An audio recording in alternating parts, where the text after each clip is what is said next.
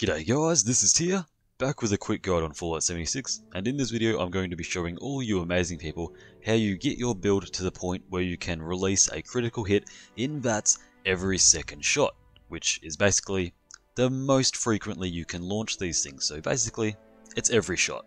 But before we get into that, I just want to let you guys know that I do have other social media, be that my Twitter, Facebook page, or Discord server. If any of that interests you, be sure to check it out down in the description down below.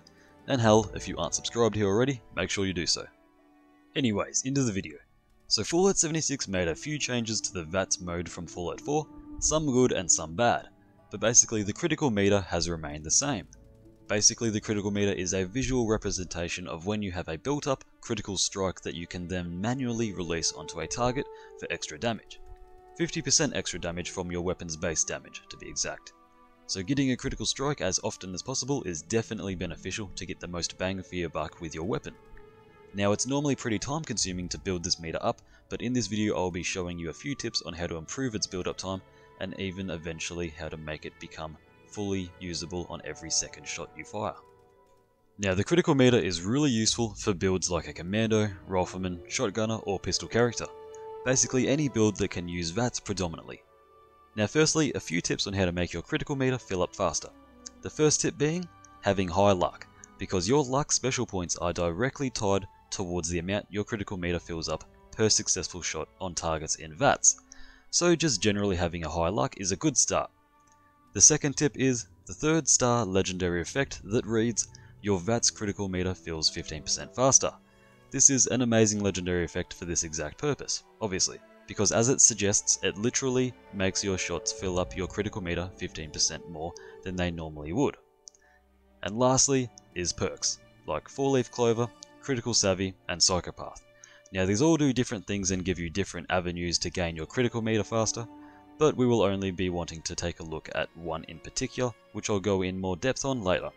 But for now, just know that Psychopath isn't really worth it in this instance, mainly due to it being such a low percentage and situational thing in the first place, and max rank only giving you a 15% chance to refill your critical meter after killing something. That's not the best. Then we have 4 Leaf Clover, which at max rank reads, excellent chance to refill your critical meter on hits. Now this seems good on paper, but it's very unpredictable and I promise you, we don't even need this once you see what I'm about to show you at the end of the video. Trust me on this, you don't even need to ever touch this perk, ever.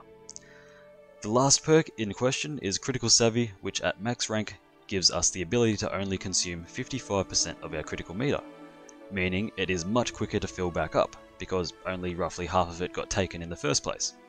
This is by far the most effective perk for filling up your critical meter as fast as possible, and I'll elaborate on why and why the other two are not needed in just a moment. So with all that being said and clarified, let's get to the reason you all clicked on this video. How am I able to make every second shot a critical hit in VATS? It's very simple, requiring only two things in this whole game. Number one is the critical savvy perk card maxed out. That's very important.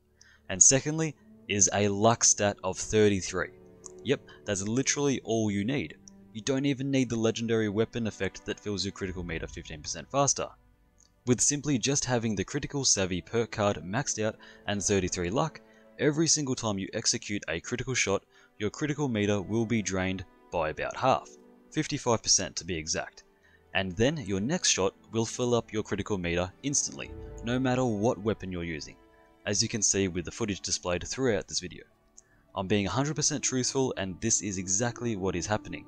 It is happening every second shot. And what this does is basically increase our damage output by a lot. Like a lot a lot.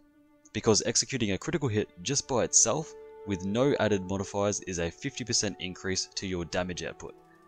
Then, if we combine this with some synergistic properties in the game, such as the Eagle Eyes mutation, Bam, that's an extra 25% damage on top. Then let's add on the Better Criticals perk for 40% more damage on top. Hell, let's even factor in if we have a weapon that gives 50% extra critical damage from its legendary effect. Add that on top. Or even if we are eating some Blight Soup, which grants an extra 40% again. All up, this is an extra 155% damage we are adding onto our critical hit, which is already a damage increase in of itself. So basically with that being achieved, we could potentially increase our damage by about 205% every second shot without fail.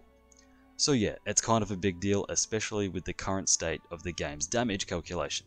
Damage is everything, and this will help you deal a lot more of it. Now I know what you're thinking, how the hell am I going to get 33 luck?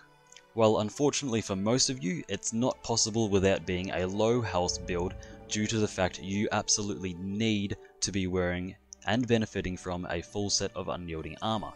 There's just no possible way to achieve 33 luck without unyielding armor and being low health, unfortunately. That's just another reason why low health builds are the best, in my opinion. My oh humble opinion. but yes, the way I've achieved 33 luck is by first of all having my default luck stack set to 15 then the full set of unyielding armor, and then on top of that I have equipped the Shielded Raider Harness under armor.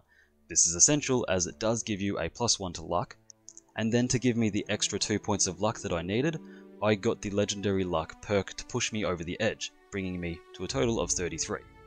It's not the most elegant system, but it will do for its purpose. Now, there may be other ways that you could achieve 33 luck, but I don't foresee any of them, uh, including not using unyielding armor.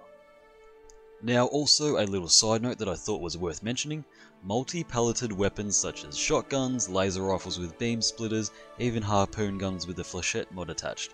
All multi-projectile slash pelleted weapons fill up the critical bar proportionally to the amount of pellets you're firing. So, for the case of shotguns, you're going to fill up your critical meter 8 times faster than you would with any regular firing weapon, since the shotguns always have 8 pellets fired, and laser rifles with the beam splitter fire 5 laser beams so you'll fill up the critical meter 5 times faster, so on and so forth.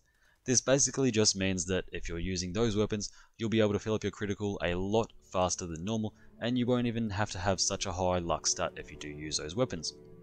In fact, if you're using shotguns, to be able to execute a critical shot every second shot, all you need is a critical savvy perk and 20 luck, which is a far, far easier accomplishment to achieve. So yeah, shotguns, and multi-pelleted weapons achieve critical meter very, very fast. I just thought that was worth pointing out.